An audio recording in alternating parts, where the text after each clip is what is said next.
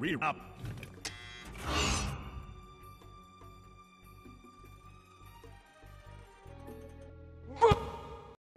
Hey,